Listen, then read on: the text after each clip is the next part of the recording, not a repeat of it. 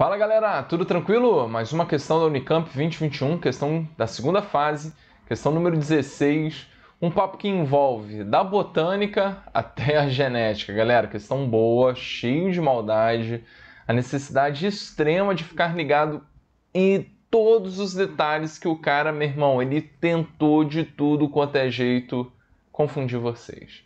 Beleza?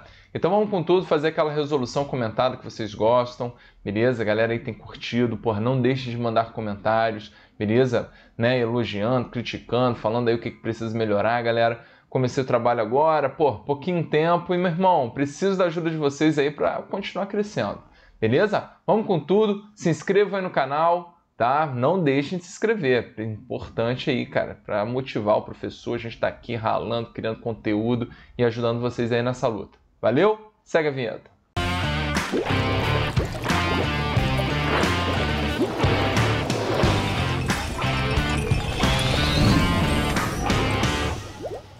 Pronto, galera, a questão tá aqui. Mas, galera, como eu tenho feito, não vou fazer aqui nesse espaço pequenininho. Vamos modificar aqui, vamos trocar para a gente trabalhar a letra A com tranquilidade e depois a letra B, que é um outro papo também com bastante tranquilidade. Então vamos lá. Ele diz o seguinte, ó, que a endogamia, ok? Lembra que endogamia pode estar relacionado a sinônimo de consanguinidade, ok? Que é mais utilizado para nós, né, seres humanos, beleza? Então quando a gente trabalha com a ideia de cruzamento entre indivíduos, né, daquela mesma família, então promove o aumento de homozigose, ok, nos descendentes. Os primeiros estudos sobre os efeitos da endogamia em plantas foram realizados por Charles Darwin. O estudo da endogamia teve seu interesse inicial em sistemas reprodutivos de plantas, para explicar por que as numerosas espécies de plantas têm sistemas que impedem a autofecundação, ok? E por que, que a reprodução por cruzamento prevalece na natureza. Vamos lá! Letra A. Defina hemozigose. Opa, vamos dar aqui um pit stop para a gente fazer esse primeiro comando, ok? Lembra o seguinte, galera, é, a gente, né, que somos indivíduos aqui, né, diploide, beleza? Recebemos um pacote cromossômico de nosso pai e um pacote cromossômico da nossa mãe, beleza? Então, esse pacote cromossômico, né, vamos pensar na gente primeiro, né, é composto por 23 cromossomos do pai, 23 cromossomos da mãe, que, cara, se confrontam, ok? Pois, pois, são cromossomos que possuem a mesma sequência, ok? Ó, vou pegar aqui o pretinho, né, que veio de papis, e o vermelhinho que vem de mames, tá? Cada um desses cromossomos ok? Esses cromossomos que possuem a mesma sequência de genes e que se confrontam, ok? São chamados de cromossomos homólogos.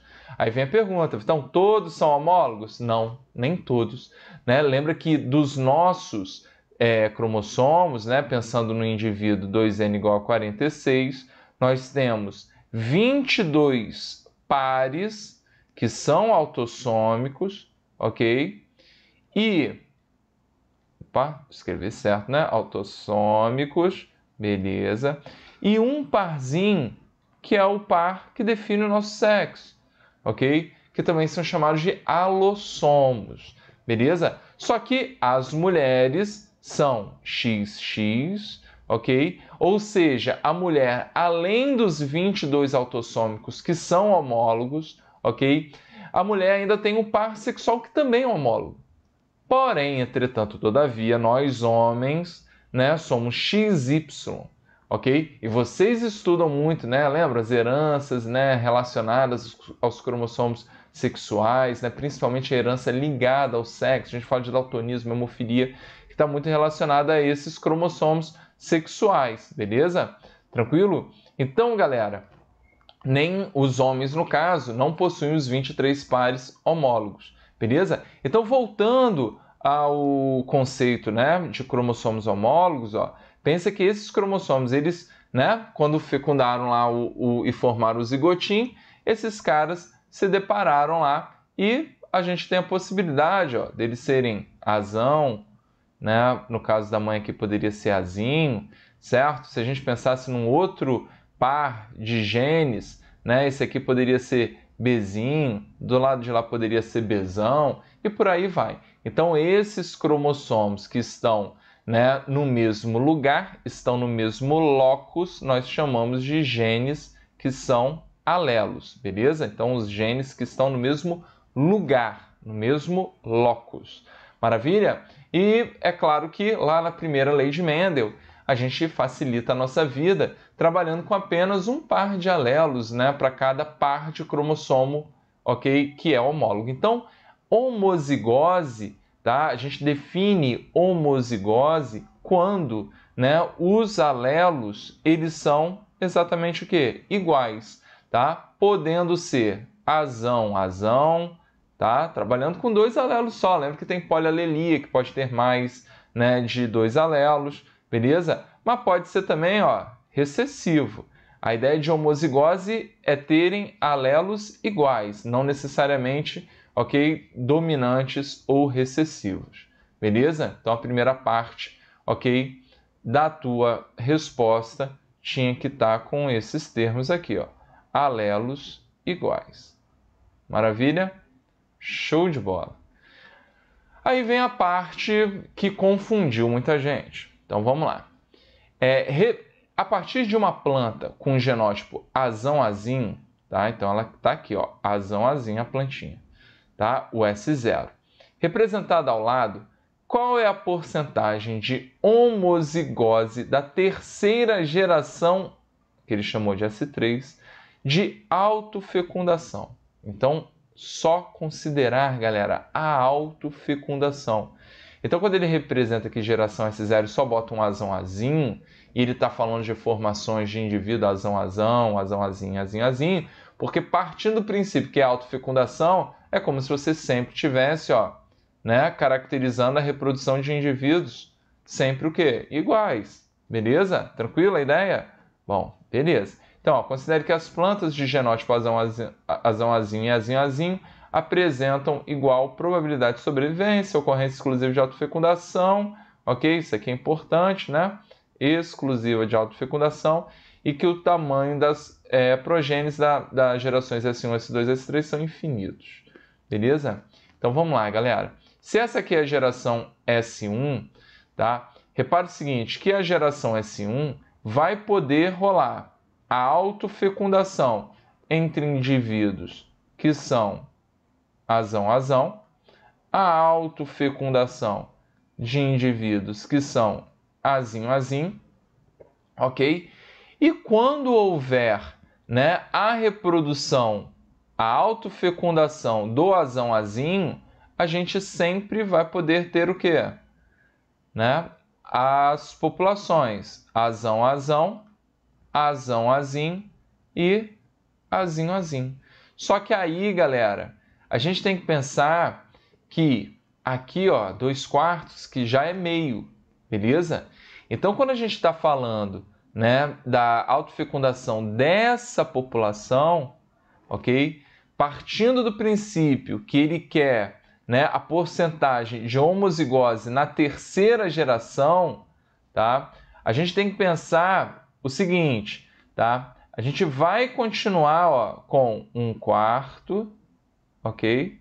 De azão, a, de azão azão, meio, ok? De azão azinho e um quarto desse cara. Tranquilão? Então um S2, tá? Talvez é, fique mais fácil vocês calcularem que os heterozigóticos serão metade da metade. Tranquilo? E aí depois a gente faz a diferença, os heterozigóticos e os homozigóticos. Então, ó, no S3, repare, vai rolar a autofecundação desse cara, vai rolar a autofecundação desse rapaz, ele se mantém aqui, né, azão, azão, azão, azinho, e quando houver a autofecundação de indivíduos, azão, azinho, teremos novamente o que? Né, azão, azão, um quarto, ok? É, a gente tem aqui o azão azinho meio, ok? E a gente tem o azinho azinho também um quarto.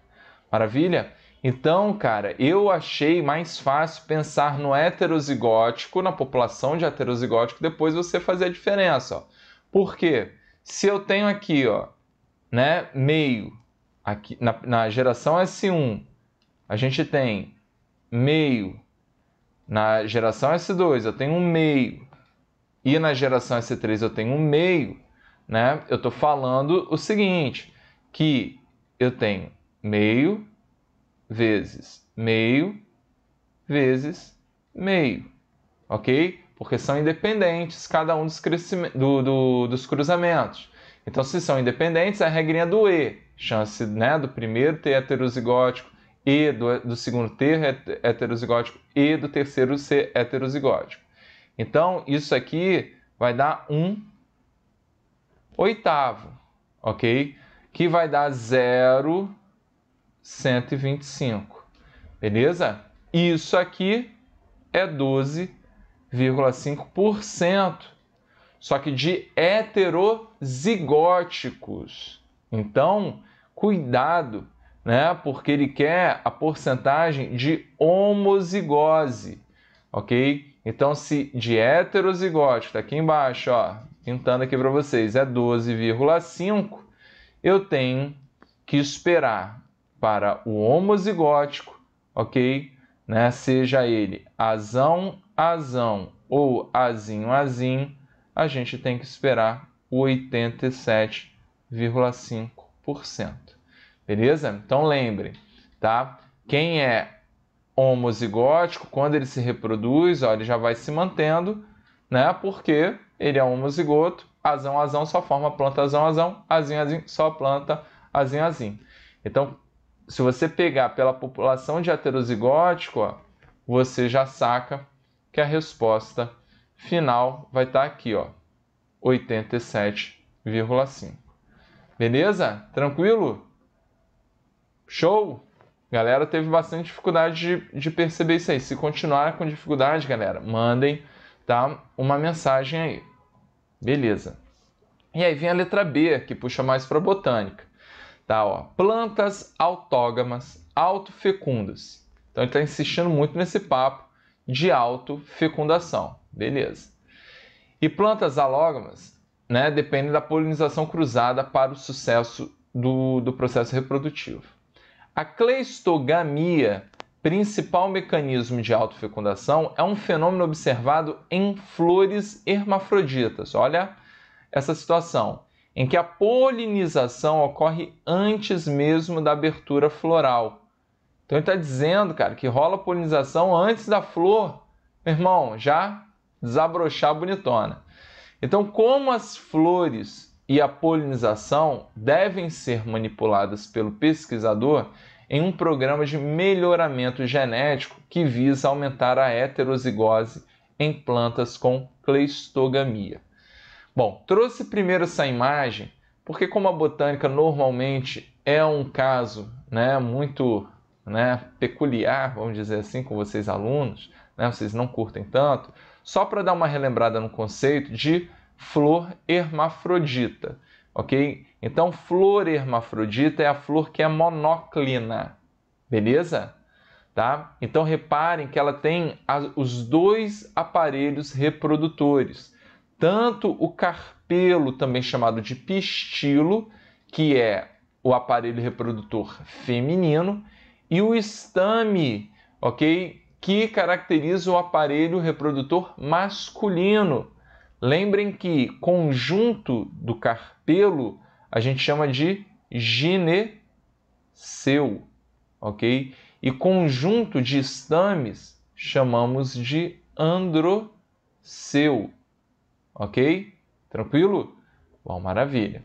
E a gente tem, né, o que não confere a, a questão, tá? Mas só para vocês entenderem, ó, porque ele, ele comenta sobre, né, as plantas ó, que são díclinas, ok? As flores, desculpa, que são díclinas, tá? E essas flores, reparem que ela força né, a ideia de plantas alógamas, por mais que eu possa ter plantas que fazem reprodução cruzada sendo hermafroditas, tá? A ideia é essa, que pode rolar, mas isso aqui é uma característica evolutiva, tá? Dentro da linha de que se eu tenho flores díclinas, eu obrigatoriamente forço um cruzamento, beleza?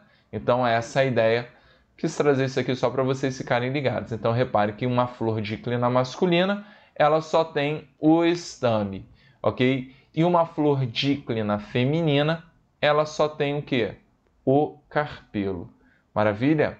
Então, é, a ideia está muito. Você precisava incluir os aparelhos reprodutores aí na sua resposta, beleza? Então, como que as flores e a polinização devem ser manipuladas né, é, pelo pesquisador em um programa de melhoramento genético? Você quer impedir a auto, né? É, no caso, ele quer aumentar a heterozigose, né? Ele quer impedir a autofecundação.